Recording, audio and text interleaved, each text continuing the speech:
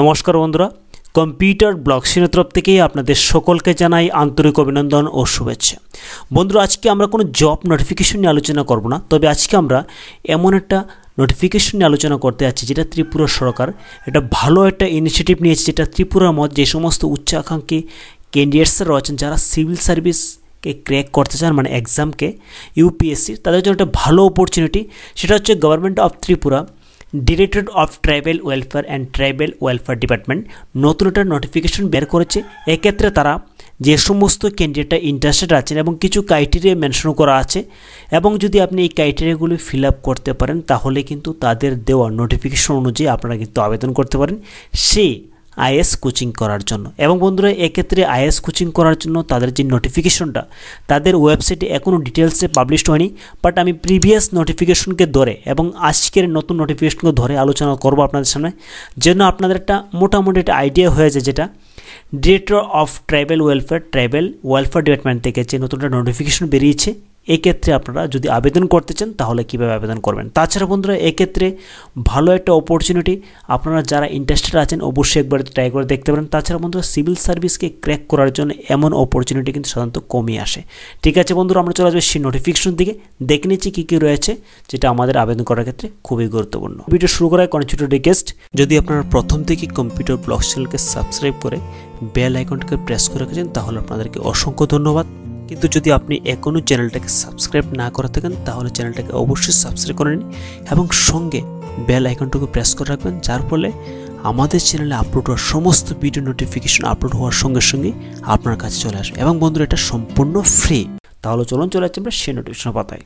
বন্ধুরা, এটা সেই নোটিফিকেশনটা তবে এই নোটিফিকেশনটা খুব শর্টে তবে আমরা তাদের ওয়েবসাইট থেকে দুটো নোটিফিকেশন কালেক্ট করেছি।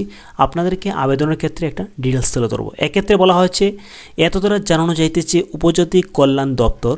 রাজ্যের উপজাতি যুবক, যুবতীদের আইএস পরীক্ষার সাফল্যে লক্ষ্যে একটি বিশেষ কোচিংয়ের উদ্যোগ গ্রহণ করেছে। আলটিমেটলি বন্ধুরা, এক্ষেত্রে যদি আবেদন করতে হয়, তাহলে কিন্তু অনলি উপজাতি যুবক, যুবতীদের কথা বলা হয়েছে।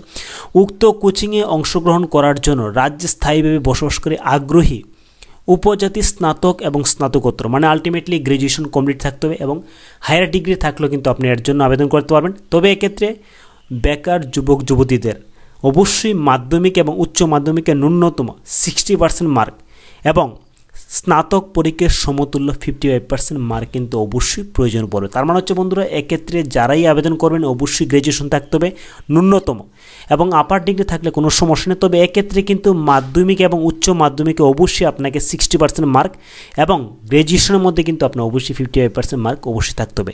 তাদের নিকট থেকে দরখাস্ত আবেদন করা হচ্ছে এবং এক্ষেত্রে দরখাস্ত এবং প্রকল্পের বিস্তারিত তথ্যের জন্য উপজাতি কল্যাণ দপ্তরের ওয়েবসাইট যে ওয়েবসাইটের লিঙ্ক আপনারা পেয়ে যাবেন আমাদের ভিডিও ডেসক্রিপশনের মধ্যে, তবে সেখানে কিন্তু এখনও কিন্তু ডিটেলসে আপলোড হয়নি।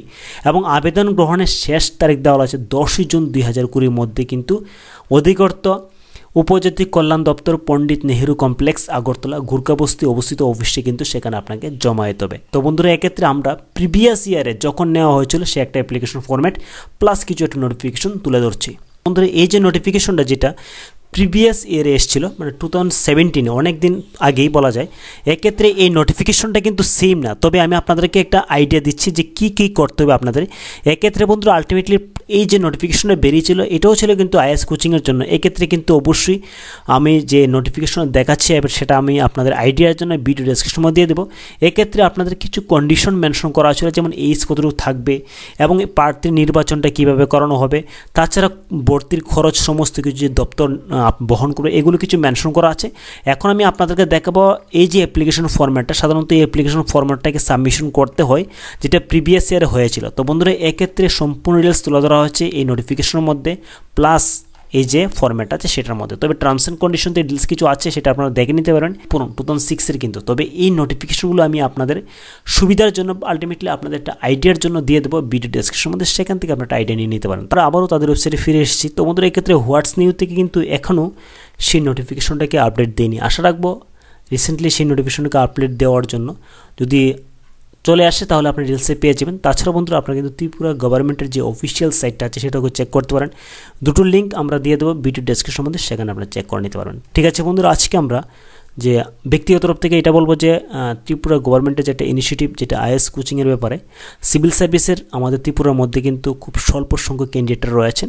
তো আশা রাখব যদি আপনারা চান এর জন্য আবেদন করেন, তাহলে একবার আবেদন করতে পারেন। এবং বন্ধুরা, ভালো একটা উদ্যোগ কিন্তু প্রয়োজন সিভিল সার্ভিস এক্সামকে ক্র্যাক করার জন্য। আশা রাখব আপনারা সকলের জন্য আবেদন করুন এবং আগামী দিনগুলিতে আপনারা যেন এর মধ্যে কেউ না কেউ চান্স পেয়ে যান।